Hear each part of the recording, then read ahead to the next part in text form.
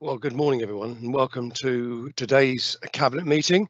Um, we were intending to hold this meeting in person, uh, but in consultation with myself and other group leaders, Chief Executive has exercised his delegated powers to revert to virtual meetings, um, informal meetings of council committees during the remainder of July and through August and into September. This decision was made in light of the increasing COVID cases rates and projected increases in August and September, um, and we'll review it in mid-September. And as executive leader, I've decided that cabinet meetings will also be held as virtual informal meetings during that time. For today's meeting, when a decision is required, the appropriate portfolio holder will make the decision, taking into account the views expressed by the wider cabinet membership. So the roll call today, we are all here. Peter Wharf, Ray Bryan, Graham Carr-Jones, Tony Ferrari, Jill Haynes, Laura Miller, Andrew Parry, Gary Suttle and uh, David Walsh. And the officers um, attending today, Matt Prosser, Aidan Dunn, uh, John Sellgren, Theresa Leavy, Vivienne Broadhurst, Jonathan Mair, I believe he's here, David McIntosh, Kate Critchell, and our producers today, Pauline Weld and Judy Saunders. And obviously there are, there are others officers in attendance who were authors of some of the reports. So apologies, Kate. I'm pretty confident we haven't got any. That's correct, Chairman. No apologies. And as far as the minutes are concerned, um, we can only deal with these. We can only note them and deal with these when we actually meet in person. And I've noted, um, Kate, there's quite a number of minutes that we'll need to deal with at the appropriate time. Um, but I, I, don't intend to pursue that any further this morning. Uh, declarations of interest. Anyone got any declarations of interest they need to announce this morning? You know, usual thing, if anything crops up, just make me aware. So we go on to public participation. We've got um, a number of questions this morning, um, starting with, and they're going to be read by either Matt Prosser or Jonathan Mair, presuming Jonathan is here. Um, the first question is from David Nash, and I'll invite Matt Prosser to read the question, please. Thank you very much indeed, Councillor Flower. So question number one, those of us who live in the vicinity of the current building in Wimborne Road or have to travel along that route at school start and finish times know only too well the impact caused by some 12 to 15 minibuses, as well as parents providing their own vehicles used to transport these vulnerable children to and fro.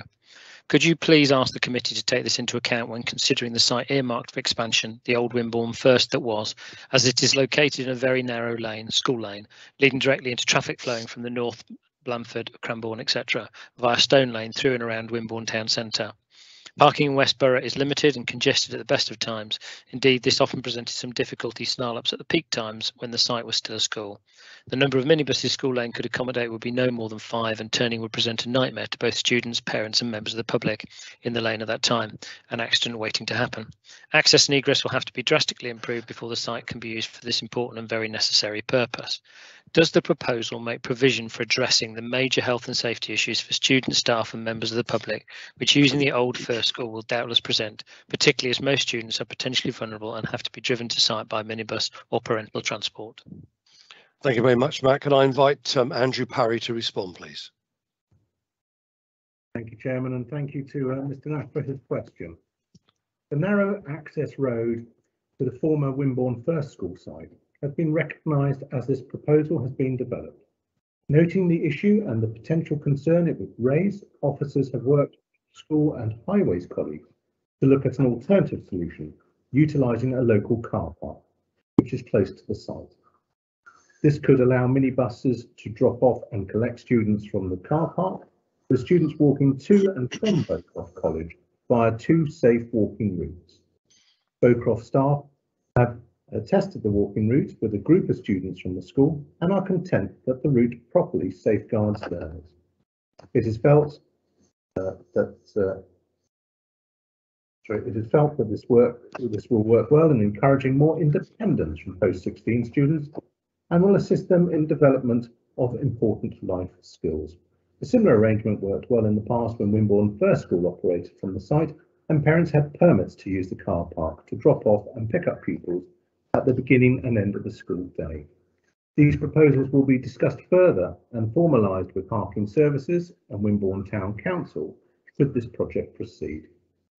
There will be parking for staff in the existing school uh, school car park off School Lane, This is gated and will be managed by Beaucroft School for staff parking only. A small area on the existing school site may be available for overspill parking for visiting professional specialists, um, or they will park off-site at nearby public car parks. This overspill parking will be accessed by an existing vehicle gate at the west end of School Lane.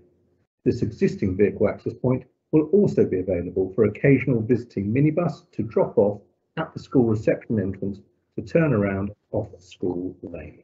Thank you. Thank, thank you very much, Andrew. The, the next question is from Gareth Elkins. Do we have Jonathan with us? Good morning, Jonathan. Good morning, Leader. Uh, this is a question then from Gareth Elkins. There have been a number of traffic surveys along Stape Hill Road, Ferndown, since residents submitted a petition in July 2018 to request the, that the road be made safer. After each one, we have been told several times that the road does not meet the criteria to make it safer. What are these criteria and in what way does the road not meet these criteria? Thank you. Thank you. Thank you, Jonathan. I'll ask um, Ray Bryan to respond, please. Yes, I'm Councillor Ray Bryan, portfolio holder for Highways, Travel and the Environment. And thank you, Mr Elkins, for your question. Um, thank you for submitting your question. A similar question was put to full council at its meeting on the 15th of April 2021, and I refer you to that response in answer to your question. Thank you, Chairman. Thank you, Ray. Next question is from David uh, Ridgewell, and I'm going to invite Matt Prosser to read the question, please. Thank you, Councillor Flower. There are uh, two questions from Dave Ridgewell. I'm going to read the first one. What progress is being made on delivery on the bus railway interchange facilities at Weymouth Railway Station and Dorchester South Railway stations, and making sure this station scheme are fully accessible for bus, rail, taxis, uh, interchange for passengers using wheelchairs access? Is there progress on disabled lifts at Wareham Station for disabled access, a railhead for Swanage by bus, and the Swanage Railway? The station requires a fully accessible toilet with Network Rail, Wessex Routes, First Group, Great Western Railway and South Western Railway and First Group Wessex, buses and Go South Coast and Purbeck and Wessex Community Railway partnerships. Thank you very much, Matt. I'll ask um, um, Councillor Ray Bryan to respond, please.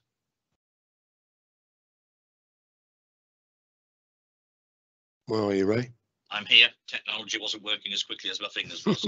Sorry about that. Okay, it's all right. Um, uh, yeah, thank you for the question. Um, Weymouth Station.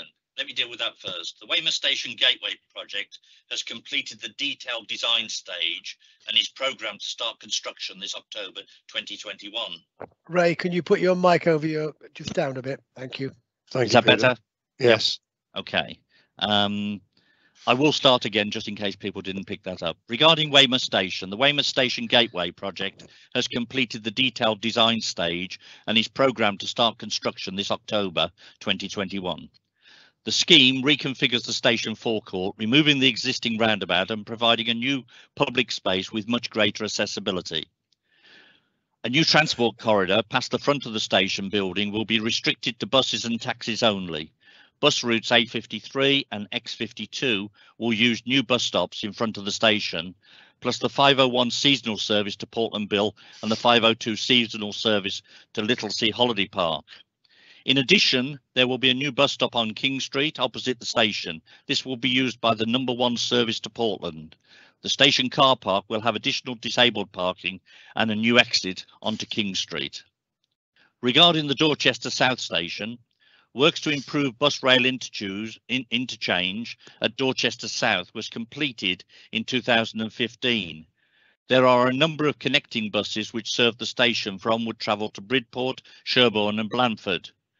We will continue to seek access for all or similar funding um, to provide an accessible crossing between platforms. And I'll now refer to the question on Wareham Station. Uh, and just to put people's minds at rest, this is very high on my agenda. Uh, we are meeting with Network Rail during the coming weeks uh, to discuss ways forward on this particular item. Thank you, Chairman. Thank you very much, Ray. There's a second question. Um, Matt, are you going to read that?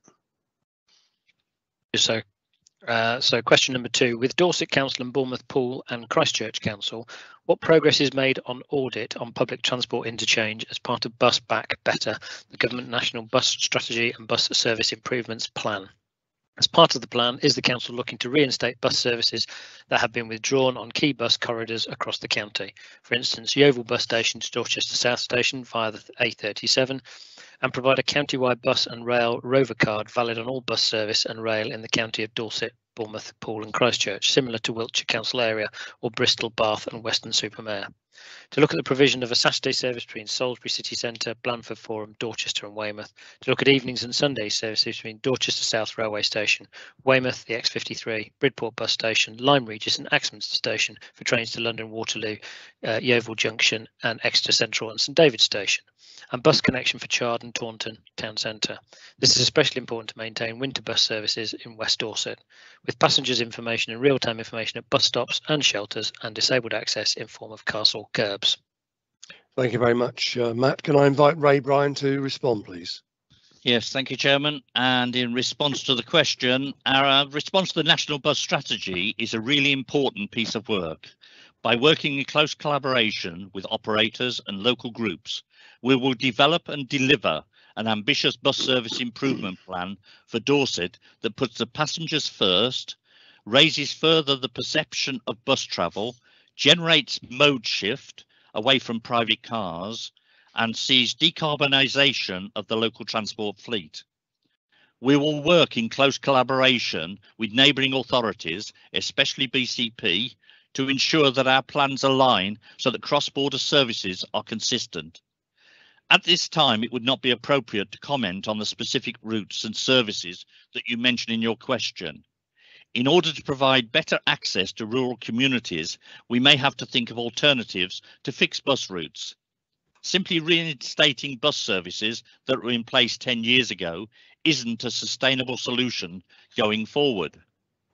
The BSIP will take action on five key focus areas and the issues you raise in your questions will be considered under these five topics. One, network and services. Two, fares. Three, ticketing. Four, passenger facilities and information. Last but not least, five, bus priority measures. Following extensive data gathering and stakeholder engagement, the Council will set out its vision and objectives to the BSIP, which will enable us to bid to the Department for Transport for funding. Thank you, Chairman. Thank you very much, Ray. We've now got uh, two questions from uh, David Berry, and I'll invite uh, uh Jonathan to, to ask the questions, please. Thank you, Leader. The first question from David Berry with the proposed nominal six-month delay in adopting the Dorset local plan from quarter two 2023 to quarter four 2023, there is a serious risk that Dorset Council will miss the government December 2023 deadline for it being adopted. What are the results of the risk analysis and mitigation measures to produce the local plan to meet this deadline, including, but not limited to, the effects of your proposed reduction of the submission and examination duration from 15 months to 12 months, the new National Planning Policy Framework issued on the 20th July 2021, and the proposed government planning reforms? Thank you. Thank you very much, Jonathan. I'll invite uh, David Walsh to respond, please. Thank you, Leader. I'm Councillor David Walsh, Portfolio Holder for Planning, and thank you for the question, Mr Berry. The delay in the local plan programme is due mainly to the large number of responses received to the first consultation. But it is essential that for all of these are properly considered before moving forward to the next stage. We had originally aimed to adopt the plan in early 2023, so this delay should not risk the December 2023 deadline. We do not know when the national planning reforms will come into effect, but it is likely there will be transitional arrangements allowing plans that are in progress to continue. Thank you. Thank you, David. Now there's a second question, Jonathan. Thank you, Leader. The second question, can you please provide to the public a more, a more detailed breakdown of the indicative dates for each stage of the local plan development, including how the public will be engaged for comments on the pre-submission draft version of the local plan, now scheduled for publication in May 2022. Thank you, Jonathan. Uh, David, to respond, please. Yes. The stages of local plan preparation are set out in the local development scheme. The publication draft plan will be brought to Cabinet and full council for approval before it is published in May 2022. And a more precise date will be given at the time. At the publication stage, there will be an eight week period during which people will be invited to comment on the plan and whether they consider it to be sound. All the responses received will be submitted to the inspector who will examine the plan. Thank you, Leader. Thank you very much, David. We've now got a question from Mike Allen. I invite Matt Prosser to read the question, please. Thank you very much indeed, Councillor Flower. So a discussion took place at the recent full council meeting about housing numbers used for the draft Dorset local plan. There was concern amongst councillors that perhaps too many houses were being planned. I would like to take a quick, more or less, look at the data leading to a simple but profound question. The draft local plan has been framed using a government standard method to determine housing need based upon the Ministry's own 2014 based annual household projections for Dorset. These projections show each year how many households are expected. The household figures for key years in the draft local plan are in 2020 169,070, 2021 170,289, 2030 182,073, 2038 191,087. The standard method uses the average growth over the 10 years, period 10, 2020 to 2030, which is 182,073 minus 169,070 divided by 10 equals 1,300.3 households per year. This is uplifted by a factor based on the annually affordable annual affordability ratio in Dorset, which from 2019 comes to 37.875% and drives the annual growth up from 1,300.3 to 1,793 households per year. This is the annual figure used in the draft local plan over 17 years and results in a total requirement of 17 times 1,793 or 30,481 households. Seemingly, the idea behind the uplift is that it will help to stay stabilised high prices, though no one in government has ever suggested it will cause prices to fall. Notice, though, that the Ministry's household projections for 2021 to 2038 actually project the formation in Dorset of only 191,087 minus 170,289, which equals 20,798 households over the same local plan period, which is 9,683 less. Therefore, my simple question is this. Given that these projections take account already of net in-migration from other areas and countries, I assume that means counties, they're cal calculated for every authority, not just Dorset, of population growth the households have been born already, and of declining household size. Whom does Dorset Council expect to live in the extra 9,683 homes that are proposed over and above the homes necessary for the Ministry's projected, projected household growth? This question is not addressed in the draft local plan, but we can ensure that it will be in the minds of developers who will welcome the offer of extra land allocations throughout Dorset, but build homes only to meet actual demand, not to stabilise prices. Thank you very much, Matt. I invite David Walsh to respond, please. Thank you. And thank you, Mr. Allen, for your question. The new homes delivered will help to meet the needs of those who wish to live in Dorset for a range of reasons, including for work or for family reasons. It also enables for the formation of households from those who already live in Dorset, where a suitable property is not available, such as young adults who live with their parents, and for those who need or wish to move to Dorset and where a suitable property is not available. Thank you, Leader. Thank you. Thank you very much, David. We've now got a question from Sandra Reed, which I'm going to invite Jonathan to read, please. Thank you, Leader. The questioner begins by quoting from the Council's procedure rules. Questions will be read out by an officer of the Council and a response given by the appropriate portfolio holder or officer at the meeting. All questions, statements and responses will be published in full within the minutes of the meeting. These are the guidelines for questions submitted to a virtual meeting.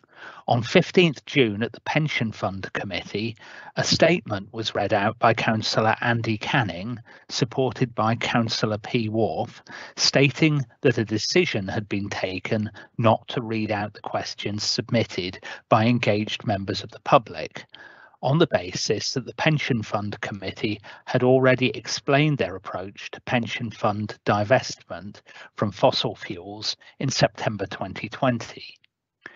This was already puzzling to me as one of my questions was based on statements made on 1st of June 2021 by COP26 President Alok Sharma at the first Net Zero Pensions Summit, who said, putting your money in fossil fuels creates the very real risk of stranded assets.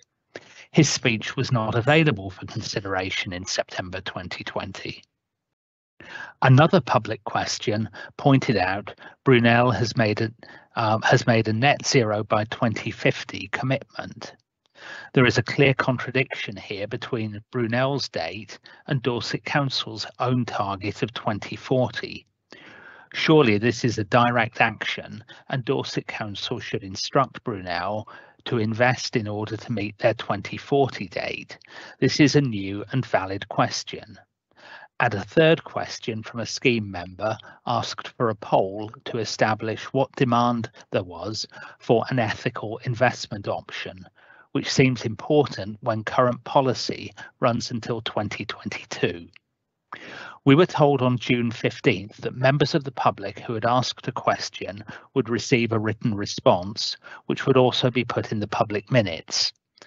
After two emails to Democratic Services and to the Pension Fund Committee, I was told by email on July the 8th that I would shortly receive an answer to my questions. I've still not received a response. As a result, I do not feel that this committee is interested in any form of engaged public dialogue. And then the questions, um, can you explain from a procedural point of view why Democratic Services supported the decision or request by the Pension Fund Committee to ban questions at the virtual committee meeting on June the 15th without informing the public before the meeting, uh, given what the public is led to believe will happen on your website? Thank, Thank you very you. much, Jonathan. Can I invite uh, Peter Wharf to respond, please? Thank you, Chairman. Councillor Peter Wharf, Deputy Leader and Vice Chairman of the Pension Committee. And thank you for your question. Uh, questions were not banned from the Pension Fund Committee meeting, which took place on the 15th of June. 10 questions were received in advance of the meeting, and each of those questions related to the pension fund's exposure to investment in fossil fuels. Given the number of questions, the, get, the chairman gave a statement addressing the topic in general and advised that the written responses to each of the questions will be published alongside the minutes of the meeting. This approach to responding to questions is in accordance with paragraph 9.10 of the Council's Rules of Procedures, which state a reply to any question shall take such form as the member replying considers appropriate, including where an oral reply cannot conveniently be given, a written response to the person submitting the question be provided. Thank you, Chairman. Thank you very much, uh, Peter. I think there's a, a second point to this question. Yes, there is. Jonathan? Yes, Leader, there's a second question. Uh, can you tell me how much time Dorset Council permits to elapse between a question that has not been answered at a meeting and the promised responses from the Pension Fund Committee? Thank you. Thanks, Jonathan. I'll ask Peter to respond, please. Thank you, Chairman. Introduction as before. The answer is the time taken to respond to a question depends upon the circumstances. In this particular case, the chairman of the Pension Fund Committee stated that the response to the questions will be published alongside the minutes of the meetings. Uh, meeting. These will be published ahead of the next meeting, which is scheduled for 8th of September 2021. Thank you, Chairman. Thank you very much, Peter. And the last question this morning is from Bob Driscoll. I'll invite Matt Prosser to read the question, please. Thank you, Councillor Flower. So, uh, subject the strategic interurban public transport corridor between Bridport and Yeovil. This route was operated by Damory as service number 40 between 2011 and 2017. It operated six days a week and provided a useful lifeline for commuters to Yeovil and served Yeovil College. The route received financial support from the former Dorset County Council. But with careful planning of the timetable, the numbers using the service increased to the point where Damory felt they were prepared to operate the service without subsidy. This was announced at our public meeting in January 2017. When the secondary schools transport contract was tendered by Dorset County Council, Damory lost a major part of the work and could no longer justify having a presence in Bridport. It therefore gave notice to withdraw from the route at the end of the summer term in July 2017. It is now four years since Damory withdrew, and in spite of initial assurances that there would be a seamless transfer to a new operator, it is now a shadow of its former self. The first casualty was the Susty service, which ceased in October 2017. Fortunately, Beaminster Council stepped into the breach and started its own community bus manned by volunteers, which started in June 2018 and runs every Saturday. The second casualty was withdrawal of the 7.30 service from Bridport to Yeovil and corresponding 5.15 return, which at a stroke destroyed the commuter market and forced Yeovil College to provide its own transport for students who live along the Bridport and Beaminster corridor. This took place in October 2018 with only one month's notice. Yeovil College were gifted a minibus by the former Dorset County Council and the advice to commuters was to try and car share.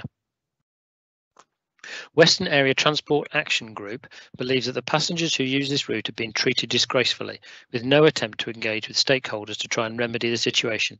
Two years ago, at the Cabinet meeting held on the 18th of July 2000, 2019, a Beaminster resident raised the issue of bus cuts on the Bridport to Beaminster and Yeovil corridor and how it had affected her children travelling to and from school.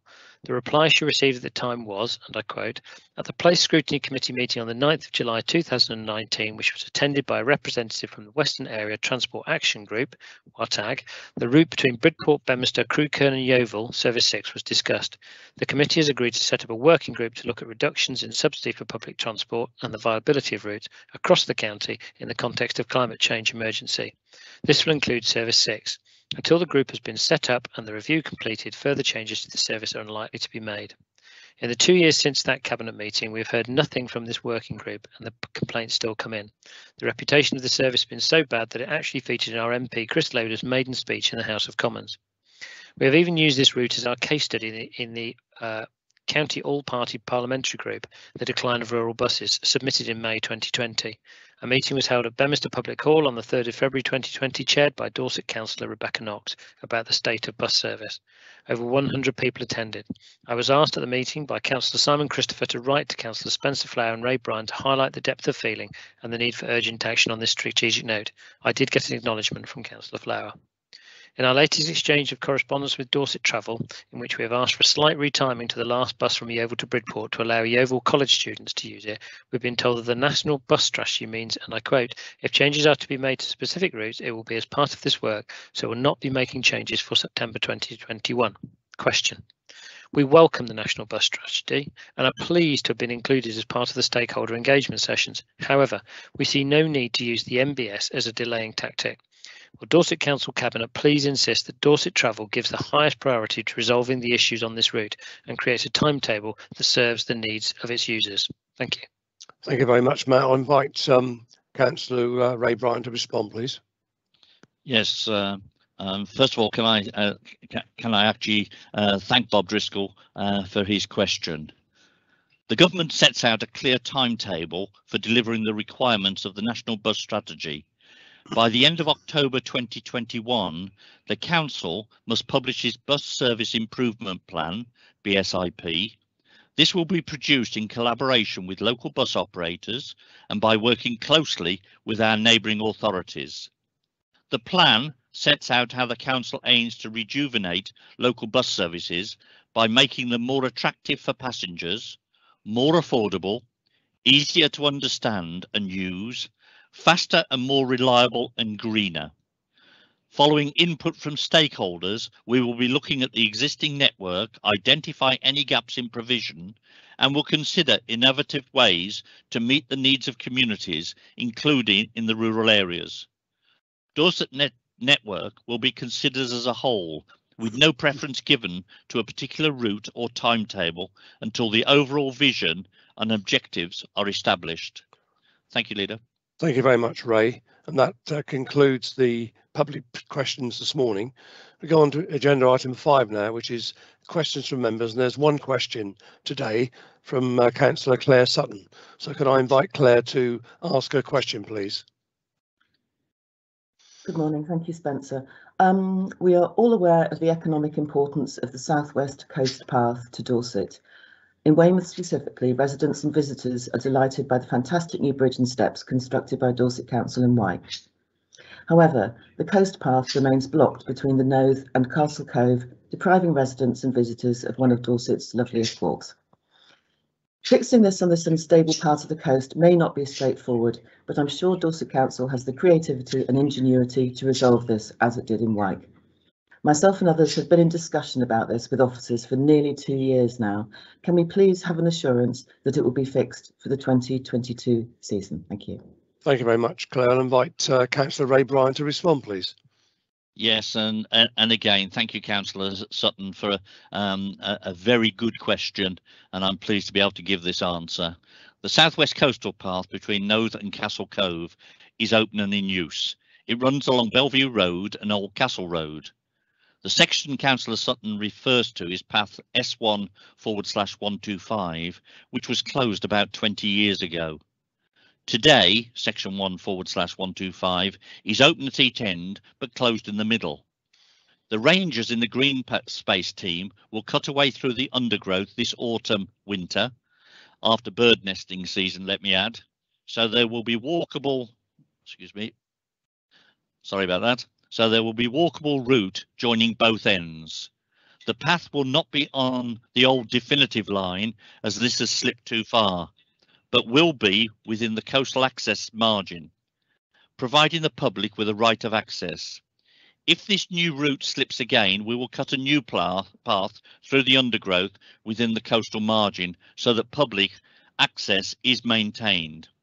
So in summary, a route will be open for walkers by the beginning of 2022 and I hope that meets uh, uh, Councillor Sutton's uh, requirements. Thank you, Ray. Would you like to come back, Claire?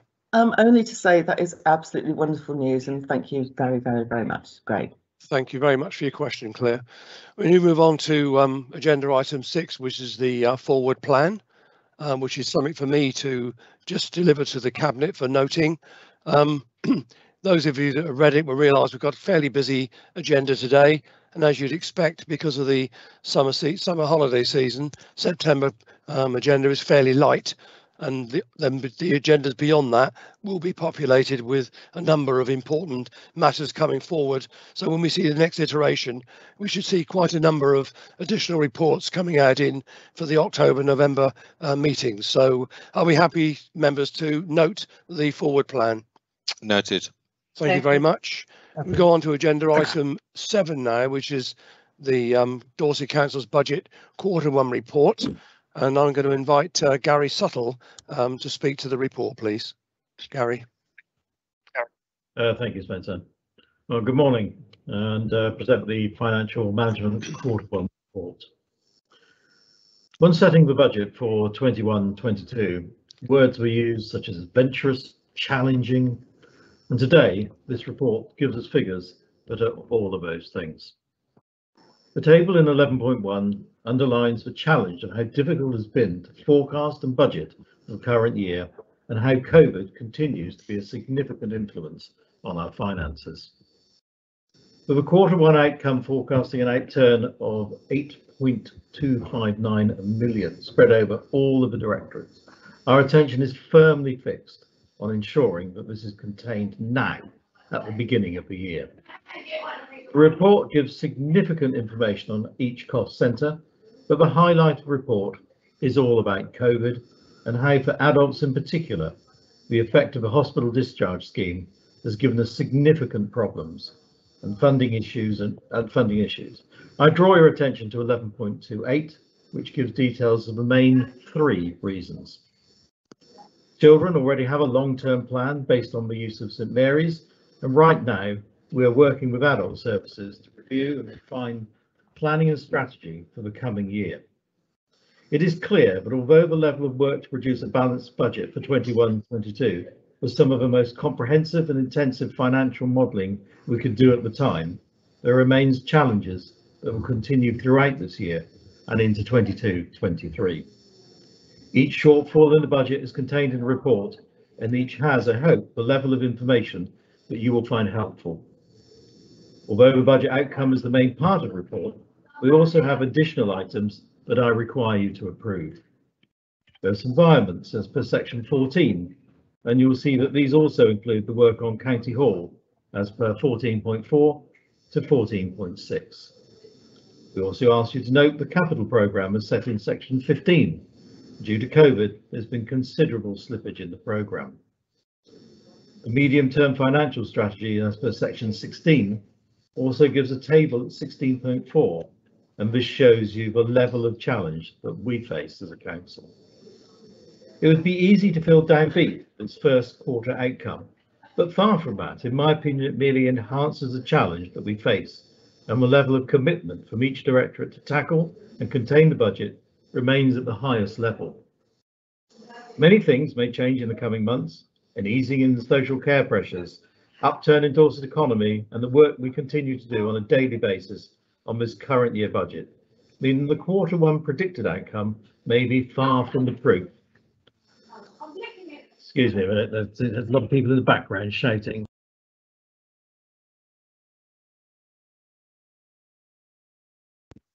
Sorry about that, I do apologise. Um, even the quarter one predicted outcome may be far from the truth. My aim is and always has been to balance this budget and I will continue to make it so.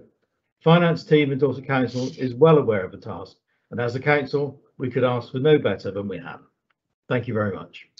Thank you very much, Gary. Before I open it up to a debate by the Cabinet, I'll invite any non-executive member for a request to speak in the chat bar. I'll give you a chance to to comment or ask a question. I don't see any in the bar at the moment. You got Brian Heatley. leader. Brian, I can't see anything. Brian, Thank you, Leader. I, I did put something there. Can't Um, first of all, I, I recognise how immensely challenging um, running this budget must be this year um, with COVID and everything else. Broadly speaking, we are seeing an overspend of 17 million on the services budgets, which is rescued to an extent by 8.56 million, which is coming from the government to cover extra COVID costs. Um, there's also a reference in the medium financial, medium-term financial plan bit to ongoing um, COVID budget costs of 9.2 million, which I found slightly surprising. I suppose what I'd, if you read the narrative of each of the indi- individual components of that 17 million, there are quite a lot of references to COVID being the cause of this or that or the other. What I would like is some feel for how much of that total of 17 million is, you think, down to COVID and how much of it is other overspends um, that are not COVID and, and how that, what relation that bears to the money we are getting from the government. It's maybe an impossible question um, and if that's if that's the answer, so be it. But um, a bit of a feel for how much it is COVID that's causing the problem, how much it's other things. Okay, thanks for your questions uh, very much, Brian. Can I go to Gary, please? Well, thanks, thanks, Brian. Uh, and I think the uh, you already know the answer is uh, I can't really quantify that uh, right now, but I'd be happy to come back to you with uh, a feel for how- how we see the long the long term prognosis, if you like, of COVID. I mean, the the main issue which is highlighted in the report has been the hospital discharge scheme, where effectively we were under enormous pressure to take people out of the hospitals put them in into care homes, nursing homes, etc. The costs associated with those are long term. So whereas the government have given us uh, six weeks COVID uh, uh, extra funding for the first six weeks, after that, most of the most of the people who were discharged and put into the homes at high cost are remaining in those high cost placements while we seek to uh, try and address that. This is the tail of COVID, if you like, which is causing causing significant problems uh, with the with the finances. But I will come back to you with uh, uh, how we see that tailing off, how we see the overall costs. Um, so uh, if if you allow me to do that, uh, thank you. Do You want to come back, Brian? Well, uh, thank you for that. And yes, I, I would I would be grateful if you could come back. And indeed, I hadn't I hadn't realised that the hospital discharge scheme would have that long tail, and that partly goes to explain the the nine million figure that I was concerned about. Thank you. Okay, thanks, Brian. Uh, and I can't, uh, it would appear I can't see a chat bar. I got the bar, but I got no request to speak. So I'll ask Peter Wharf to alert me if there are any that crop up. I can't see any more. Have you got any, Peter? No, there is no more. Okay, in that case, I'll open it up to the cabinet, and I know Laura wants to uh, come in and discuss uh, the issues around her own particular portfolio. Laura. Uh, thank you, Leader. Yeah, I mean, you know, I, I hope you can see from um, colleagues' understanding, and in particular Gary and, and Spencer and Peter's understanding of the position of the Adults Directorate, um, that we're not sitting on our laurels and just saying, goodness me, we have a pandemic, uh, long tail, overspend, never mind. Um, there is significant work going on, um, helped by the early highlighting of our financial position um, through our management. We have good management tools in place. Um, we have proactive measures that we're looking at. We're looking at our workforce strategy. We're looking at our financial management strategy.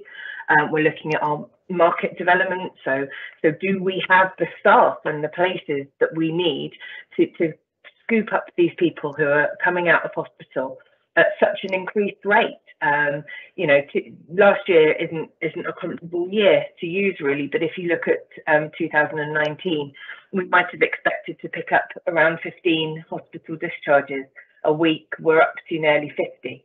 Um, so that just gives you some sort of real, you know, real life um, idea of, of, the scale of what we're facing. And, and, Gary quite correctly said that we have some hospital discharge monies from the government. Um, it's now down to four weeks from six weeks um, from an original 12 weeks at the height of the pandemic, uh, 12 months, sorry, from the end of the pandemic. So, so this is not just a Dorset challenge. Um, this this is a national challenge. Uh, Councillor Heatley's point about how much of this is COVID, yes, really, really difficult to quantify because, of course, people that were going into hospital uh, two years ago to perhaps have a knee operation or a hip operation um, are now significantly worse off because they've been waiting so they will require more complex care when they come out, perhaps for longer. But so so that's a sort of indirect. That's not directly COVID related, but but it is. Um, and so that's very, very difficult to quantify. But we also know um, that we've got significant challenges with our workforce, with accommodation for our workforce. Um, there's so much going on in the Adults Directorate around recruitment, around supporting really small providers to deliver care in their, you know, sort of really local area. Um, there's a huge amount. What I, I, think I'm trying to say is that there is a huge amount happening um, from supporting carers to, to day opportunities to really trying to keep people at home and as healthy as we can. Um, COVID has thrown an expensive um, and costly in terms of outcomes spanner in the works. Um, we will try to continue to take everyone with us um, as we work through this um, and just trying to reassure that you know we have we have some excellent directors, we have some excellent people who are working their socks off um, with our health partners as well, uh, because that's an important part of the funding. So I just really want to stress the amount of work that's happening and the recognition that this early sight of the financial position has, has enabled us to get some really, really good um, proactive work in place.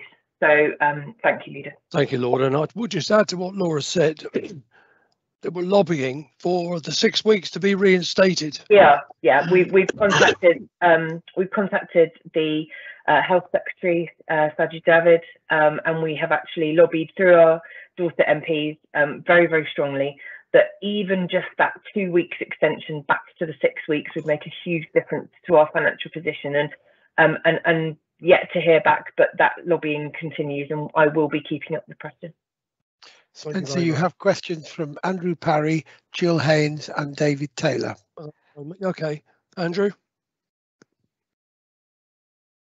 Thank you, uh, thank you, and uh, appreciate uh, both Gary and actually Brian Heatley's comments in this area.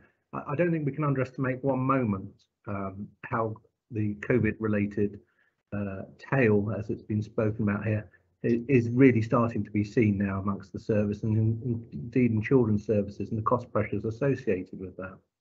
one of the things that we have seen, but it's also equally tricky to quantify that and really pinpoint those areas of concern. So just to give you some sort of flavour of some of the challenges that we are seeing that weren't necessarily immediately on the radar, we're seeing a slight change in the behaviour of people coming forward to be considered as foster families, and we need to understand what has caused that. There's uh, the, we've we've seen uh, that as a challenge to us.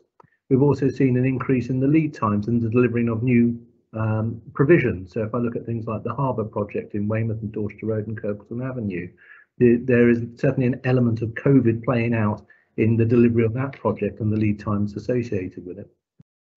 Um, I think we uh, also have to take note of the national picture. And so where we've seen government interventions, uh, which have resulted in the closure of certain provisions for placement of our children in our care, and this affects uh, councils across the UK. Um, what we're now experiencing as a result of that is an increased demand uh, coupled with a reduced capacity in the system for the placement of children and young people, which inevitably tends to drive up costs. And you then have that sort of perfect storm scenario where you end up in uh, a bidding war in order to be able to secure provision. Mm. Of course, the more we can do to deliver provision in county, which is something that is, is noted in this paper and we've talked about many times before, and we are actively uh, setting about the delivery of, the better our opportunities to bring these budgets under control. But I, for one, uh, am under no illusion of the pressure that children's services have been under as a result of the pandemic uh, and the cost that we're seeing in the association of that. And of course, its impact on our workforce and of course our children and families. Um, I don't think the results we're seeing today are anything to be particularly surprised about. It just reflects the very sobering reality of having to deal with a pandemic. Yeah, quite right. Yeah. So who did you say was next, Peter? So I got Jill Haynes. Was who else was it? Uh, Jill, Jill Haynes. We then had David Taylor, who didn't take his opportunity. No, I, I can't allow him. This is an open meeting. I did I did have it open to members, so I'll go to Jill now. Okay. Sorry, David. Uh, thank you, Leader. Um, I'm Jill Haynes. I have the portfolio for customer and community services. Um, I just wanted to sort of reiterate some of what um, previous speakers have said. You know, there are th some things that really is the long tail of the pandemic. And uh, in my area, that is um, income at, at leisure centres. Um, you know, just people just aren't going back to them. So we do have uh, considerable pressure on the budget there. But I also wanted to say we got some good news, and and please on occasions when it's like this, it's good to have a bit of good news. Um, so from a waste point of view, we are getting some uh, really good payments back for our recyclers, much better than we expected, much more than was originally in the budget. Uh, now that can always drop down again because they are a bit volatile, but at the moment we're getting good returns in that area, and I just thought I'd put a bit of good news in. Well done, Jill. We always like a bit of good news. Well, I think we've given this report a good airing. Gary, does anyone want to just summarise?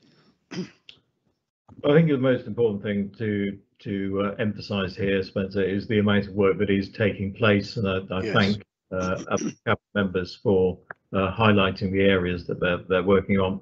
I can assure you that there is a significant piece of work uh, about to come out of adults, and I'd like to thank Laura in particular for that, uh, and everyone is working on that because I, I believe that it will will help us significantly with this budget and I'm uh, in a sort of strange way looking forward to quarter two because I think I'm hoping that it will reflect that work that we're doing.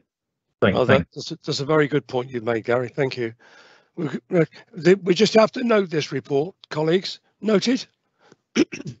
Noted. Thank you. Noted. Go on to Agreed. agenda item eight now. Low carbon Dorset grant payment. I'll hand over to Ray Bryan. Yes, thank you, leader. Um, uh, the, the heading on this actually tells you exactly what this is about.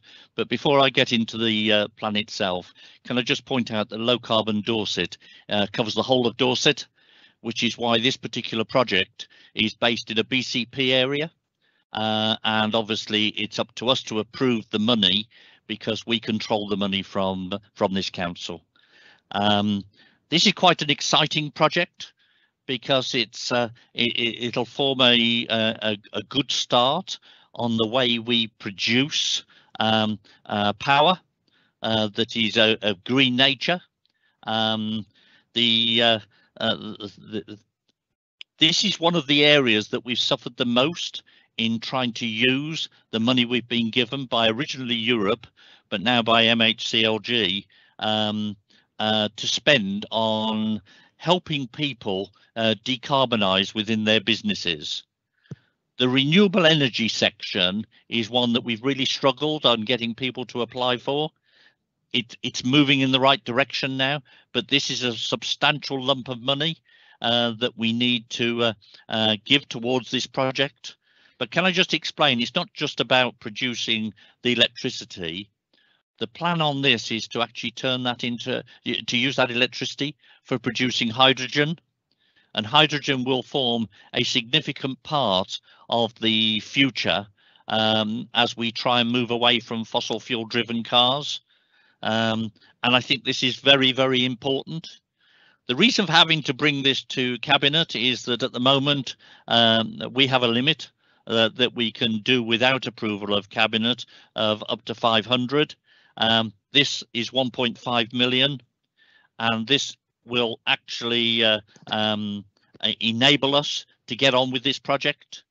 I am very keen uh, that we approve this uh, because, as I say, it's a substantial amount of money uh, that is in our plan uh, for renewable energy. That doesn't mean that we won't be looking at other renewable energy projects. We will be. And if for any reason this failed to get off the ground, we'd already got uh, um, uh, ideas as to how we could, if necessary, use that money. But this, without question, is uh, the desired project because it it it actually highlights um, how important it is that we start to create hydrogen in a local area. The recommendation in front of you is quite simple, um, that we can issue a grant award letter to Canford Renewable. Um, this has already been approved by the Low Carbon Dorset Grants Panel and Board, but the, the fact that it's over 500,000, it needs to come here for a decision. Um, if the decision is positive, which I hope it will be, and I hope I can get support from members, um, then we will then be asking for permission for the executive director for place after consultation with relevant portfolio holders uh, to actually uh, um, sign this off. So I'm not going to talk too much more on this. Uh, I think I've summed up uh, my own personal Thank feelings on this. So I'm going to pass it back to you, leader. Thank you very much, Ray. Any RTS, Peter? Anybody in the chat bar? No, No. sorry, I was unmuted. That's okay. No more. No, no, Thank you. okay, good. Um, looks pretty straightforward to me. Any need for a discussion, colleagues? Or are we minded to, do we have a minded view in support of the recommendation that's set out before you? Support the Agreed. Agreed. Okay, so with that becomes a minded decision, which will be delegated to the appropriate officer to uh, carry out. Right, I- Councillor, Councillor Flower, sorry, can Yeah. I just interject? Um, that's not a delegated decision to an officer, I believe. I think an executive decision that Councillor Bryan is going to take. okay, all right. Okay, thank you, Matt, for that clarity. Good. Let's move on to agenda item nine now. The um, next item is um, Peter Wharf. So, uh, thank you, thank you, Chairman. Um, Chairman, th- this this project is ongoing, and what we're doing here is requesting the cabinet to approve so that our governance and decision making continues to be well thought out. The project is currently well advanced. Uh, tenders have been received and evaluated. Parallel activity of finalisation of grant agreement and third party agreements with each school is underway. And as you may remember, we've got multiple schools who are implementing gigabit and some are already doing it. And the purpose for this paper is to allow us to continue to make decisions quickly. Otherwise, we may lose the grant. It has all been explained and has been through scrutiny, uh, and I urge the cabinet to accept it. Thank you. Thank you, Peter. Any RTS? No, no RTS, Peter? No, can none that. I can see. No, none that I Okay, can thank see. you. So damn nuisance, never mind. Okay, colleagues, um, open for discussion now, uh, whether you're minded to support uh, um, the delegated decision will go to Peter. If there's nobody going to comment on it, can we agree? Agreed. Thank you very much. Agreed. Right, we go on to agenda item 10, asset transfer policy. And I'll hand over to Tony Ferrari. Uh, thank you, Chair. Sorry, Um, sorry, leader. It's it's Jonathan. Um, bef- before you do that, I do think you need Ca- um, Councillor Wharf to make that last decision. So the cabinet indicated its support, but I I didn't hear Councillor Wharf actually make make the decision. Can you just say that then, Peter? Yes, I make that decision. Thank you. Great, thanks, Jonathan, for clarity for the minutes. I get it. Thank you. Right, Tony. Uh, thank you, Chair. Tony Ferrari, portfolio holder for, amongst other things, assets. Um, I bring this paper forward um, after consultation with the overview, overview committee, and can I thank them for their comments, which um, ended up with a better paper than when it started. Um, Dorset has, as a result of the formation of the Unitary Council, a very large number of assets, somewhere in excess of 1,400, and I believe many of them would be better utilised in the hands of others, town and parish councils, charitable bodies, a variety of other organisations. So we are looking to transfer as many of these assets as quickly as we can to appropriate bodies. Now, anybody who's been involved in the past trying to transfer assets into other bodies will know what a time consuming and expensive process that can be. So what this paper is designed to do is to transfer as many of these assets into appropriate hands as rapidly and cheaply as possible. So if there, what the policy does is to split the transfers into two categories. The first category are uh, relatively low de minimis value items um, that the recipient body is a appropriate body and the body is prepared to sign a standard contract. What we want to do is to take as many transfers out of any complexity at all and simply transfer the items. So that policy, we think, will deal with a number of the transfers, not a great number, but a number of the transfers, but very cheaply and very efficiently. The second part of the policy is to deal with transfers that are more complex than that. And the items could be more complex because of financial transactions, before, because of contractual transactions, any number of reasons.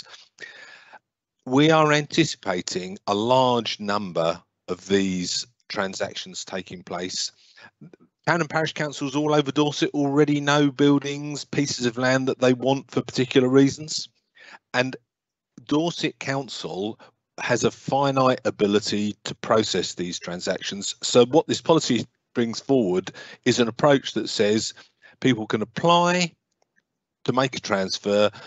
Dorset Council will prioritise a batch, complete those transfers, and repeat the cycle, prioritising another batch. And repeat. we will inevitably disappoint people that don't get into the first um, tranche that goes forward, but this is a policy that will move as many assets into third parties' hands as rapidly as possible. Um, I would welcome any questions um, to talk about the detail of the policy. Thank you. Thank you, Tony. Any RTS, Peter? Anyone wish to uh, comment, question or anything?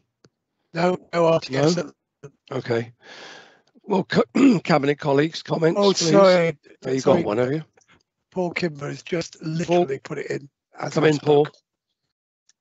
Yeah, um, tha- thank, thank you, uh, Spencer and uh, Peter for, for the update on the assets transfer policy. Uh, I, p- I p- particularly welcome, if you like, the, the action that we're going to get going on, on this. I know it's been uh, uh, very frustrating for the town and parish councils, particularly my own Portland town council. So, uh, yeah, I just just to say uh, we I particularly wel- welcome, if you like, this this initiative. Thank you. Thank you, Paul. You've got Jill Haynes. And we'll open up to the cabinet then, therefore, Peter. Yeah. Right, Jill, come in. Um, thank you, Chairman. Uh, just to say that as part of um, the work with this, I've been working closely with Tony, um, and we did do a presentation on on these to the clerks of the larger towns and parishes, um, and we've also circulated this for comment prior to um, for the paper today. Um, we seem to be getting, um, you know, very positive feedback on it. And I know that John Sellgren is looking to do some work with some of those clerks who are particularly interested in, in the transfers. So just a bit of an update on that. Thank you very much, Jill. I can't, uh, don't think there's any other colleagues wishing to speak now. So um, following this discussion then, are we minded to support uh, the recommendations, colleagues? Agreed. Agreed.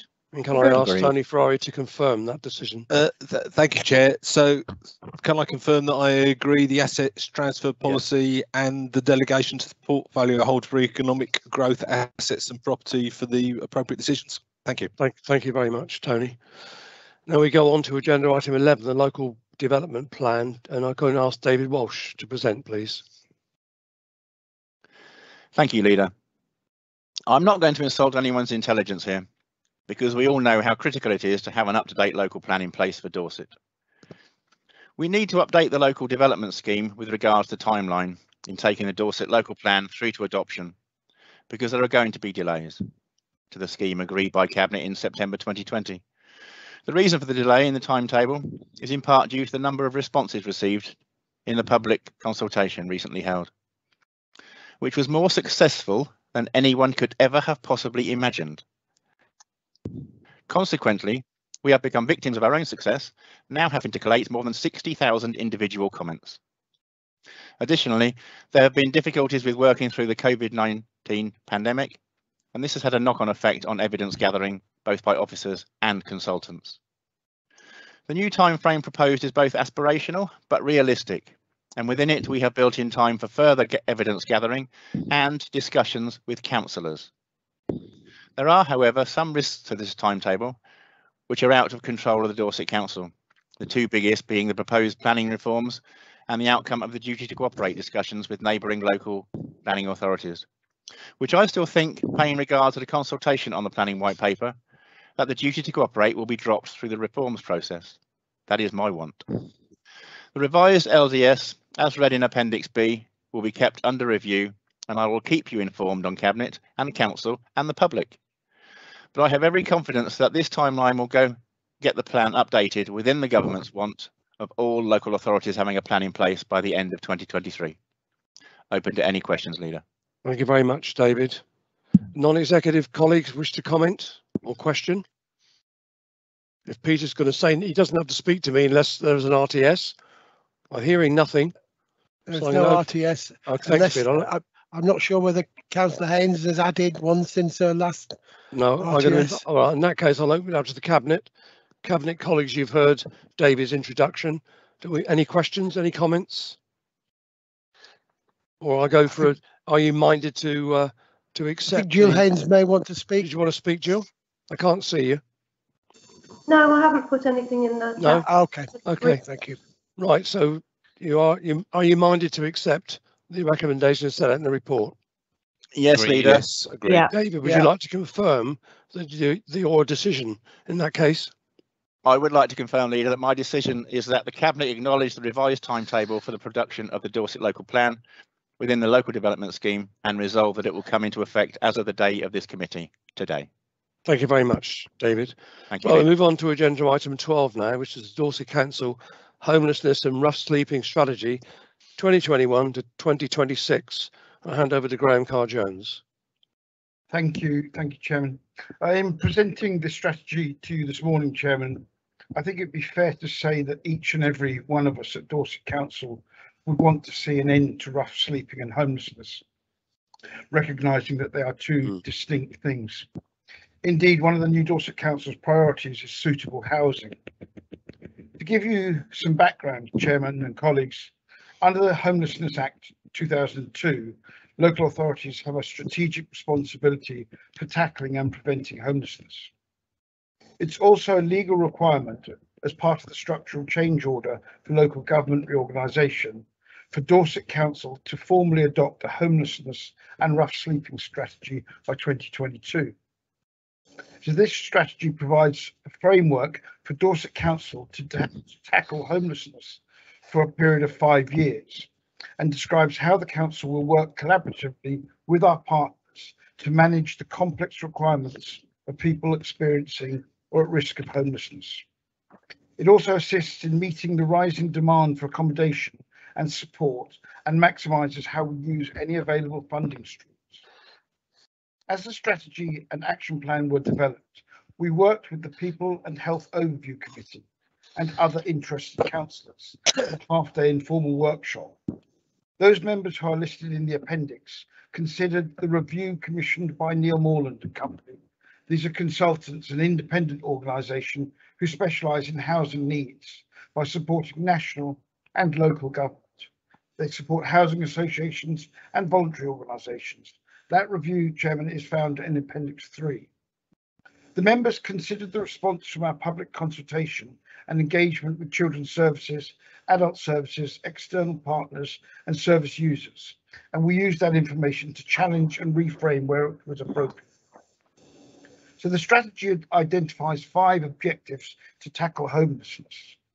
Reduce current and future likely levels of homelessness, prevent homelessness, ensure that there's enough suitable accommodation for people who are homeless or threatened with homelessness, or were previously homeless to prevent a reoccurrence of their situation. Appropriately resource the delivery of this homelessness and rough sleeping strategy. And there's a new delivery framework which will ensure clear, transparent, appropriate and inclusive engagement with organisations, the council and service users in relation to the actions identified and developed for future actions. Chairman, we've also included a new accountability structure to ensure robust, regular, appropriate council engagement and responsibility supported.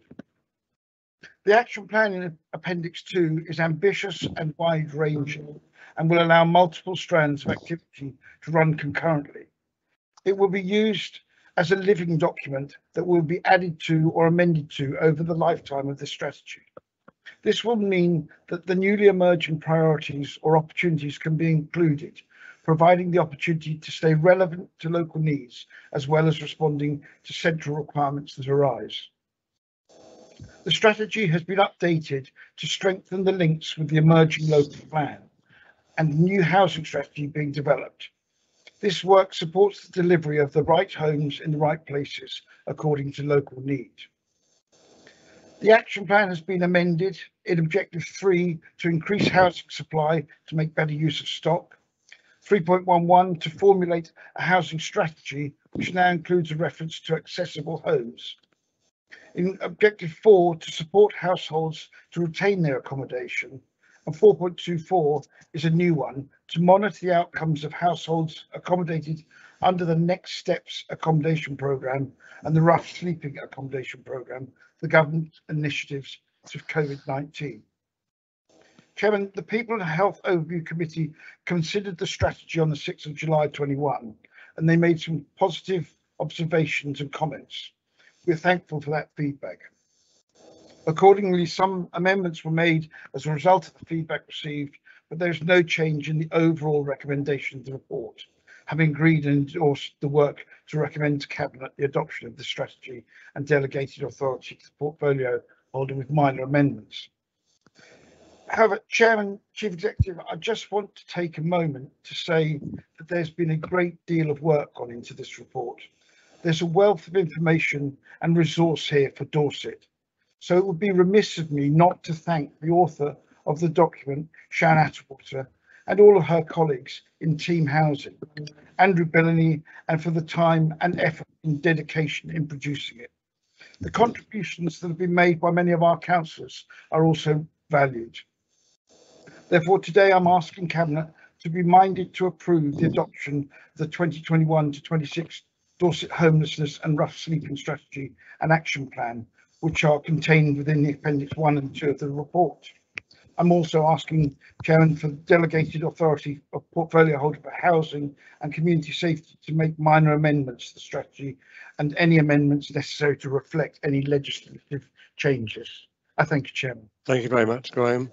Any RTS, uh, Peter? Yes, you have Paul Kimber, mm -hmm. followed by Les Fry. Okay, Paul Kimber. Uh, thank you, Chair, and uh, thank you, if I could say, Graham.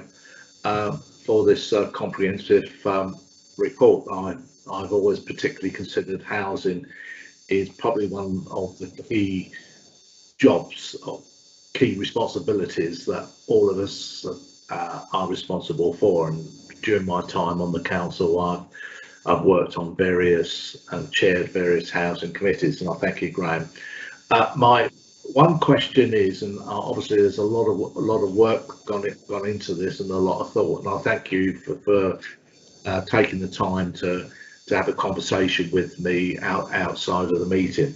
My, my one question is, Graham, can we be kept fully up to date on how this uh, strategy is is going? You know, if uh, if numbers of on the waiting list are rising, uh, we, we, should be uh, kept fully fully informed, on, and also have uh, the many uh, or many people seeking housing. Also, also keep, keeping us fully updated on the amount of social housing or or uh, affordable housing um, that is available to us. That basically is my question, and um, I'm happy to uh, support this. Thank you very much, Paul. Graham, do you want to come back? Uh, just very briefly, thank you for the question, Paul. Uh, though it's um, slightly different to the housing and uh, to the homelessness strategy, it gives me an opportunity to plug the member briefing I sent out last week about the re-registration of the housing register. Uh, I hope you've all had that briefing because yeah. that's important. It's also important to recognise that within the strategy that the, there's a there's an opportunity to review it annually to see how it's what the progress is being made. So thank you. Thank you, Graham. Les Fry. Morning, Leader. Can you hear me okay? Yes. Thank you, Leader. Um, I'd like to echo Councillor Carr-Jones' comments on the work that's been done on this plan. It is a good plan. It's refreshing that it's a living document that will be updated regularly. In my past occupation, rough sleeping and homelessness was something I had to deal with, sadly. I don't think we will ever deal with homelessness and rough sleeping completely, but it's a plan that we must take forward. It's a difficult one, and I wholeheartedly support this 9 to 2 decision. Thank you. Thank you very much, Les. Any other RTS, Peter? No. If, if not, I'll open up to the Cabinet. Cabinet colleagues, you've heard Graham's presentation. Um, any comments from anybody? If not, are you minded to support his recommendations? Certainly. Very agreed. And on that basis, Graham, you, You've got like Andrew to, Parry's just come in, Andrew, Chair. do you want to comment? Just Yes, very he has. briefly, I, I welcome the prominence at the, towards the top of the report under health and well-being that shows the uh, the links there with domestic abuse, Mm. relationship breakdown, mental health and well-being. Yeah. Many of those factors, of course, uh, imposed on the ad, you know, do affect the adults, but they do have massive impact on the outcome for the children Yeah. and are often identified as driving forces behind why uh, our, we have children on either protection plans or coming into healthcare. Yeah, well, So- well said, Andrew. Quite right as well.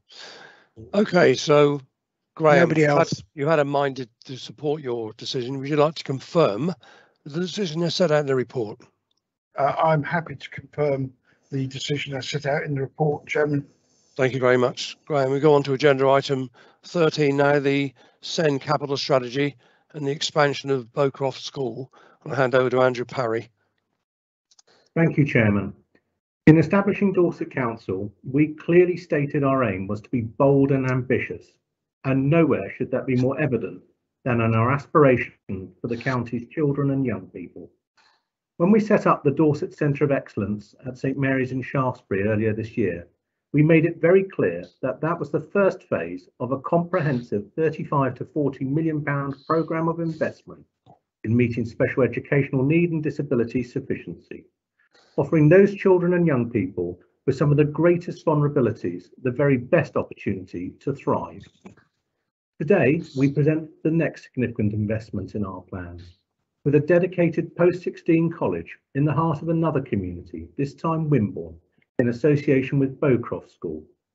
In creating Beaucroft College, we will deliver in the quickest possible timeframe a teaching facility that will provide a centre for skills, uh, life skills learning and vocational training for up to 80 students.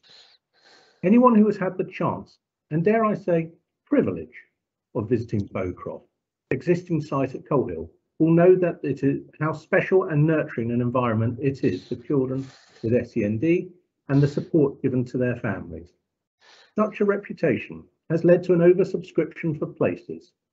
Ofsted have rated Beaucroft as outstanding, a reputation that the school works tirelessly to maintain, and indeed a strong desire to build upon. Colleagues, it is for all these reasons that I am supporting the report before Cabinet today and hope that the creation of Beaucroft College will receive the warmest of welcomes from you.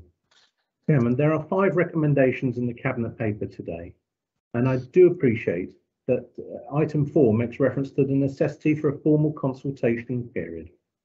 I, along with Theresa Leavy and Vic Verma, um, be happy to take Cabinet's questions. Th- Thank you very much, Andrew.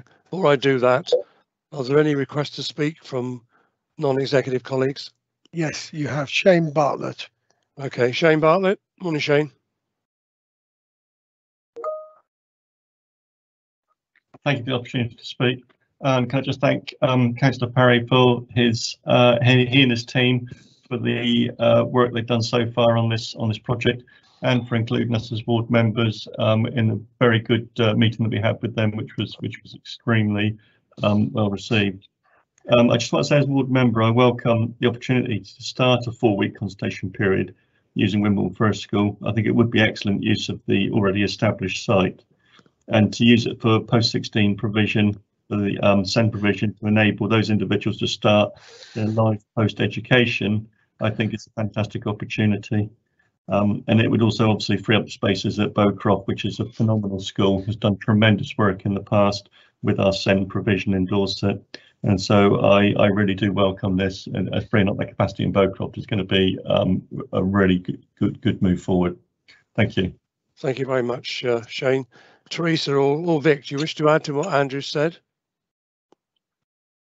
Your silence is golden. No, Vic, you're coming in. Vic, go ahead. Yes, uh, happy to. Uh, uh, you know, I think we've we've been working very closely with um, the leaders at, at Beaucroft College, um, or Beaucroft School, sorry, at this at this point, um, and you know, recognise obviously in their in their most recent Ofsted, uh, you know, they were described as having highly ambitious leaders and delivering a consistently high quality teaching and learning, which is what we would seek to expand. Uh, and we, we stated very clearly in our SEND capital strategy the intention to expand Mm. our existing outstanding provision, and, and this forms part of that strategy. Thank you very much, Vic. Good point. Peter, no art, more RTS? Uh, Ray Bryan, but no, art, Oh, no we're more. to- Okay, thank non-exec. you. Yeah. Well, we're going to the cabinet now then, and I'll invite Ray Bryan to come in. Thank you, thank you, Leader. Um, I just want to say that uh, uh, this report actually uh, excites me tremendously. Uh, this is such an important area that we've needed to address, and I really do congratulate the team, Andrew, Theresa, and everybody else that's put this report together. What I look at is that we are uh, now starting to develop a plan to bring as many children within our own area as we possibly can and the cost savings on this aren't to be ignored. If we have to invest to save in the long term, I know as a cabinet we are very enthusiastic on that. So it's just a case of placing on record um, my, my thanks to uh, um, the team for bringing this forward and I look forward to working with them, not just on this project, but on other projects where we can save money on transport of transporting children well outside the area. But we have to admit at all or accept at all times that children come first. So thank you very much. Thank you, Ray. Any other colleagues wish to comment? Leader, if I- Nobody else uh, for the Leader, if I moment. c- Andrew, you want to come back? Yeah, if I just may say in response to, to uh, both Shane and Ray, uh, my grateful thanks to the local members, uh, Shane included there, who I know um, we had a very early discussion with them about this uh, proposal. Um, and I was delighted that they were supportive of it and, and understood why why we felt it would be a benefit to their community. Um, and I'm grateful for everything there. In respect of Ray's comments, um, typically generous of Ray and very supportive of him uh, and, and want to do the very best we can for Dorset children and young people. Um, there is, of course, a very, very significant role for Place to play in the delivery of this. And I know that Ray and I and John and Theresa and others will be all having those conversations to ensure that we, we set a time frame for delivery uh, once we've been through the consultation process um, and, and that we really do crack on with another vital part in the delivery of sufficiency. Thanks, Andrew. Anybody else? I'd just like to add one thing from my perspective. You know, we said, we set ourselves out of stall a while ago about being bold and ambitious for the young people of Dorset in, in a really substantial investment programme of improving the outcomes for young people, getting people back into youngsters back into Dorset, getting ourselves some savings on the on the way and helping us to to deal with our our, our uh, send provision. And I think the bold and ambitious, this has got it all over it. Every every time you break it, it says bold and ambitious. And I great credit to Children's Services and all the work you've done to fulfil this part of what I see as a really bold and ambitious programme for the council overall, but particularly in children's services. So you've had Andrew's, um, sorry, Andrew set out the uh, five parts of the. I'm going to lose my voice again. Andrew, you want to set your recommendation out? Thank you. So there are five recommendations in the report. The first one, uh, that the support of use of the former Wimborne First School in School Lane, Wimborne, to increase capacity of Beaucroft School to create an additional specialist provision for Dorset children and young people with special educational needs and disabilities.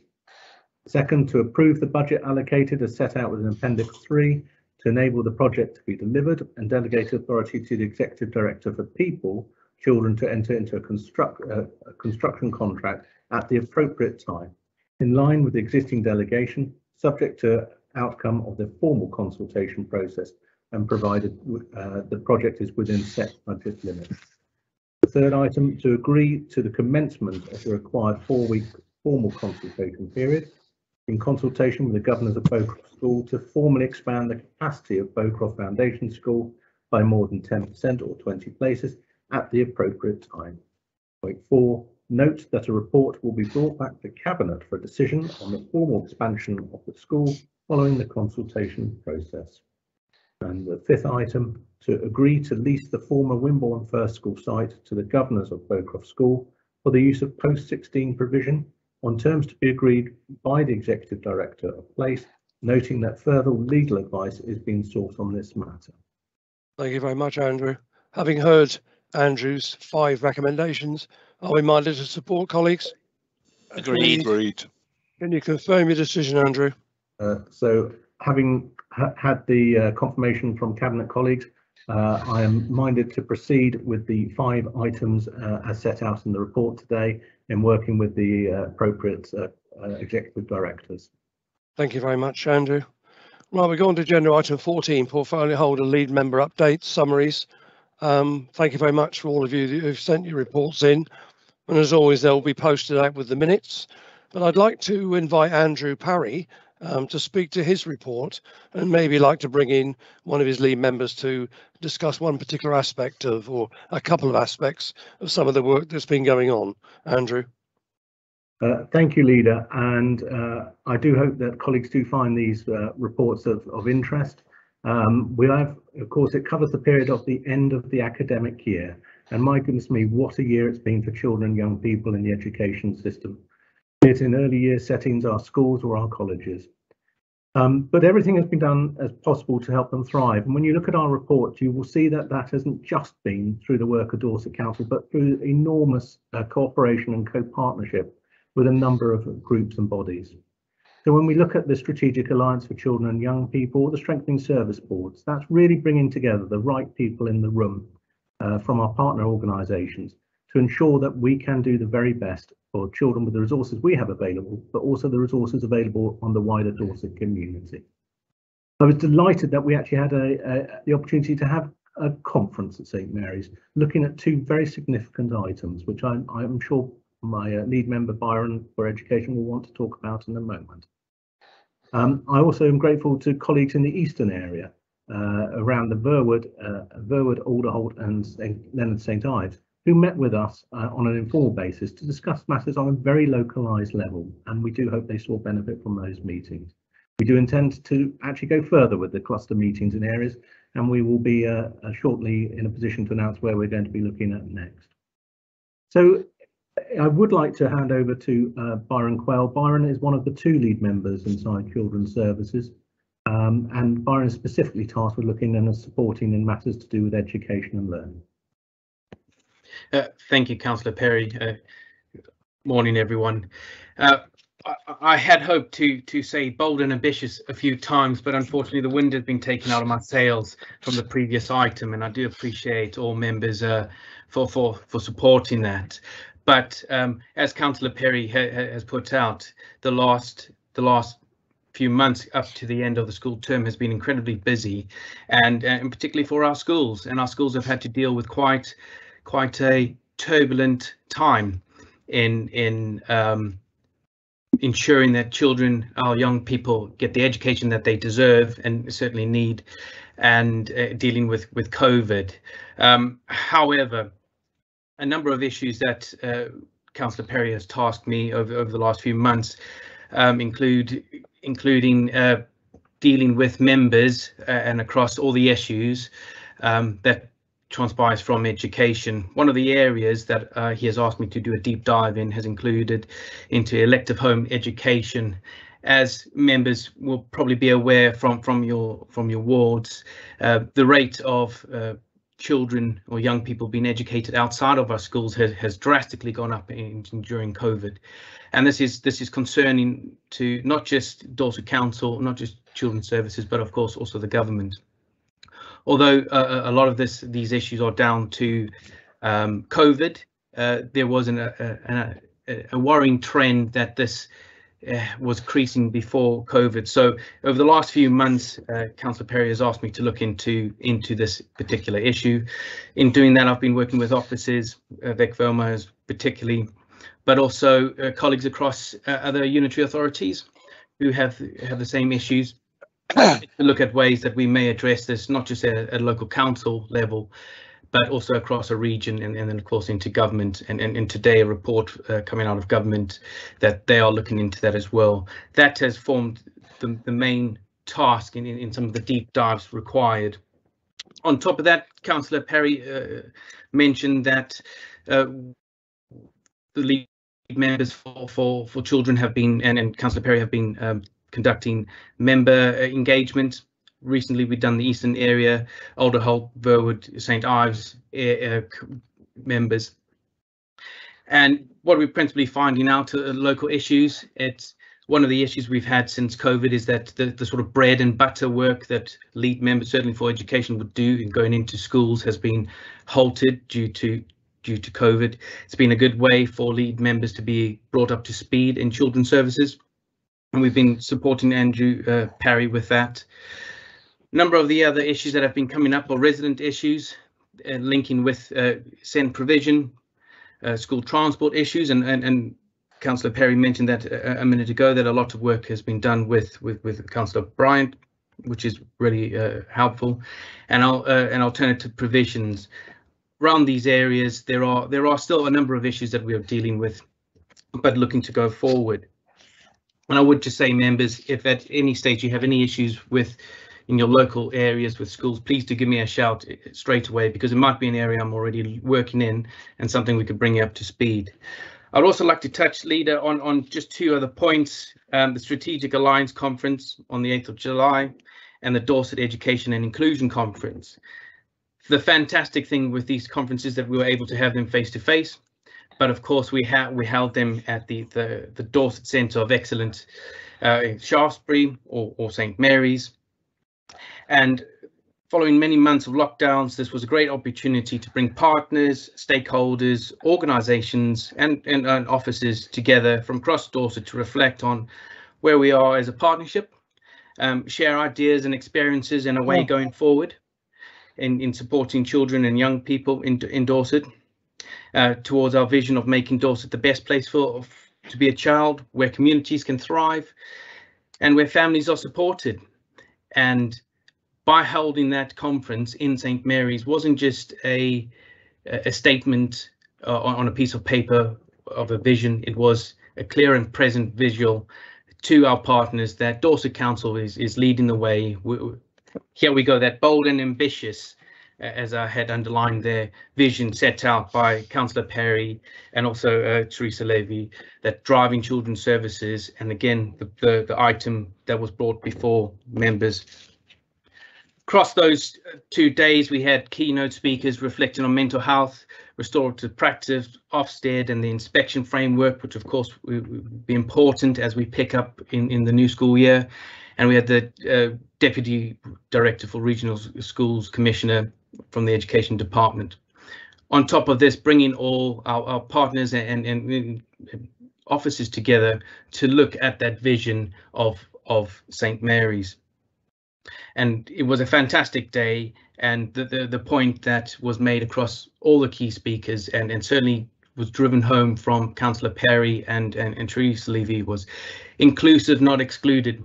I think that was said a thousand times, and that is the driving message that came certainly to me, and I did hear that uh, across partners. And I actually had heard uh, one of our partners saying, looking at St Mary's, and they said, well, you can see that the council means business, and that was great news. The last thing I'd like to mention, uh, uh, Leader, Councillor Parry has asked me to mention summer in Dorset, which we are looking forward to.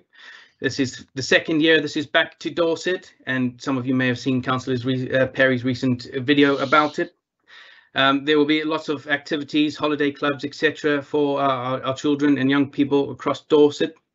Um, anyone under the normal schemes of free school meals, they will get these for free. These will be held over about 50 locations and I believe about 18,000 funded places for our children and our young people across Dorset. Um, I would just make a, a quick plea. Um, we are we do require volunteers, even if you can just provide a few hours or a few days. Councillor Parry, uh, Somper and myself will will be taking part as well. And uh, we look forward to the new school year. There are a number of issues we, we, we need to deal with, as Councillor Parry has alluded to in the past but we are in a good place and I look forward to the new school year starting in September. Thank you very much, Byron. Really comprehensive uh, overview. Thank you. Andrew, anything to add? That was uh, really good. Yeah, absolutely. And it just goes to show how uh, our lead members have, have absolutely jumped in feet first into their their, their roles. Uh, very keen uh, to get that knowledge to provide that bandwidth that we talked about bringing to yes. the cabinet members. Uh, I'm grateful to Byron and, and, Jane for everything they do inside the children's portfolio. Um, it has been challenging at times, particularly when we've had some of the restrictions to deal with. Um, but of course, there's even more to come going forward. Yeah, quite. Yeah, it's great time. Well, I hope we will have a really positive start to the September term. Right, thank you very much to both of you. Spencer, move you on. have you have questions got? from Paul Kimber and Carol Jones. Okay, Paul. Paul. Uh, oh, Kimber. Yeah, thank, uh, th thank you, Chair Byron. Uh, and thank you for your uh, comprehensive uh, report. Uh, my question is, uh, I'm dealing with one family that are experiencing COVID problems and information because ev everything is being loaded on. Um, it was a bit of a hesitation on who or what to contact. Do you feel there's enough information out there on who, how we, how we can get help, or how ordinary families can access help uh, if if they urgently need to do so? Thanks. Want to pick that up, one of you? Yeah, happy to. Um, I, I, would certainly, in any event, uh, to wish to direct them to the excellent uh, Chesil locality, which is of course led by Amanda Davies. Does incredible work in in the uh, Weymouth and Portland area uh, for supporting our children and young people. Um, if uh, Paul would like to, if Councillor Kimber would like to uh, let uh, Byron or myself have the details of the particular family, and if we can provide assistance in that introduction, then we'd be happy to do so.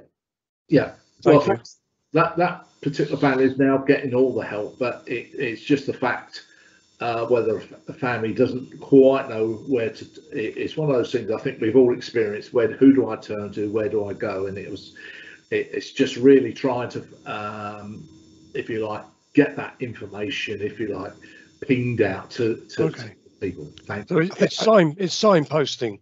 I think I think Theresa Leavy. I think Theresa Leavy wants to come in. She may be able to clarify that point. Thanks. Yeah, thank you very much, uh, Chair and, and Councillor Wolf. And Councillor Kimber, thank you for the opportunity for me to um, just advise members and the general public that we have a significant amount of signposting. Absolutely right, Joe. That's what it's about. Um, that's just going out right now so people can absolutely find the help they need as quickly as they need it. Uh, locally, we've published that on our intranet. We've also produced a range of postcards. We know sometimes it's helpful for people to keep things in their bag and in their back pocket and in their wallet around where and how they can get help. But we want to do more, and it's part of our digital offer around having a local offer that's publicly available for everybody so they can get that help quickly. It's absolutely the cornerstone of our, our future strategy for the next generation. So um, absolutely, thank you, Councillor Kimber. Helpful reminder, you have got a fantastic uh, locality that's serving uh, you and your community as well. Um, but we need to make sure everybody knows how to get that help quickly. Thank you very much, Theresa. Uh, Carol Jones. Thank you. I just wanted to bring up, um, I wanted to find out if there was a, enough support for the safeguarding leads within the schools. Certainly the contact I've had shows that they're under huge pressure. They don't have the resources they need in the schools to deal with some of the issues they're facing in the schools.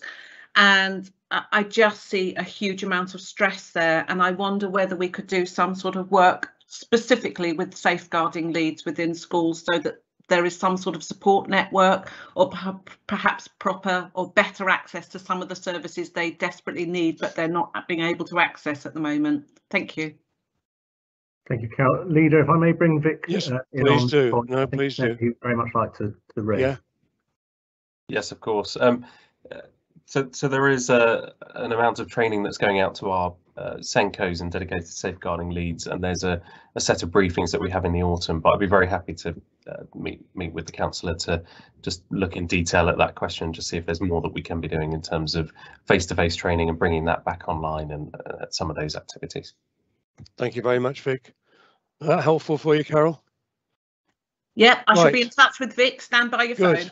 Good stuff. Right, let's move on then to agenda item 15 now, which is um, updates on policy development matters that we're referring to from cabinet to overview committees. And I believe, if I remember rightly, Laura, you mentioned something in it might have been in Jill as well. Do you want to comment? Laura, where are you? I'm here, thank you, you um, leader. I've I've put my camera on, but I haven't I can appeared. see you now. Can you? Okay, I apologise for my ridiculous headphones. My others have uh, broken, and I've got my son's PlayStation headphones, which he's not very happy about. Um, so yeah, just to just to update uh, members and the public that we've been Andrew Parry and I have been working very closely on um, some work uh, about how young people and children transfer into adult services, how we really look at that concept of settled adulthood and what that means, and ensuring that that happens at the right time for an individual because we don't all wake up on our 18th birthday or our 16th or our 21st birthdays fully fledged adults, um, and really you know how our services work together and how we can understand uh, what we need to do to make sure that people get the best outcome so um, just to let you know that that work will be coming to people in health overview in september we hope thank you Thank you very much, Laura. Who, who else have I got? Have I got you, Jill? You haven't got anybody else at the moment? No. No, if you, no. I've got, though the hands up bit thing on mine has disappeared. Well, I've got a problem with the whole thing's not working properly today. Never mind. So I've got nothing else. Right, we'll go on to, to climate, uh, Ray. Yes, thank you, Leader. Um, as people are aware, we uh, uh, at full council we approved the uh, uh, the climate uh, um, papers that were put before us. Uh, whilst I could say that enables us to get on with the job, let me tell you, we've been getting on with the job ever since we produced the papers, uh, and loads of work is going into the climate change. Uh, I would like to um, just highlight one point at this meeting. As people are aware, we, uh, we were awarded 19 million by central government for decarbonisation of our own properties. Um, that project is well underway. Uh, we've reached the stages where um, all the buildings are now selected. Um, we've got procurement working on the purchase of the items that we need. Uh, we've got consultants working on the project. Uh, everything is now picking up speed. Um, as was set out, there is a deadline date at the end of September. Um, uh, Salix have actually intimated that uh, if that needs to be extended, uh, they will consider it. And I'm just waiting for confirmation that that has actually happened. Um, and I'll look forward to dealing with that at the next meeting. Uh, but spending 19 million in a short space of time um, isn't the easiest things thing to do. So my hat goes off to the officers that are working tirelessly to bring about the decarbonisation of our buildings. Now, obviously, there are certain issues that we need to deal with. Uh, we have one or two planning issues, but with the support of planning, uh, and uh, uh again, my thanks go to David Walsh for, for helping me on this. Uh, we will actually hit the time schedules uh, for getting the the jobs pushed forward. And I look forward in future meetings to be able to say this is now complete. Um, as I say, fantastic job being done by officers uh, on top of their normal jobs. Um, this has been thrust upon them, um, but I congratulate them on the way they're taking on the challenge and dealing with it.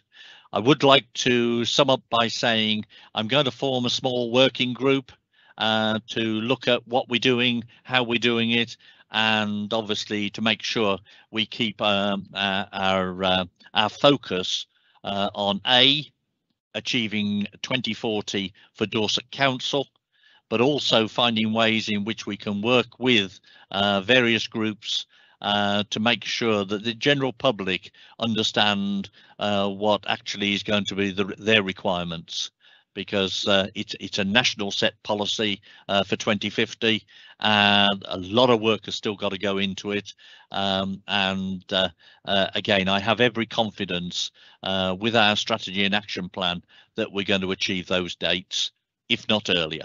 Thank you leader. Thank you Ray. Any RTS Peter? No there isn't. No great thank you very much. No, there are next item is there are no urgent items today. And they're going to move into exempt business. Can I have a proposal, please? Uh, certainly, Chairman, I will move the exclusion of the press and the public for the following items in view of the likely disclosure of exempt information within the meaning of paragraph 3 of Schedule 12A to the Local Government Act 1972 as amended.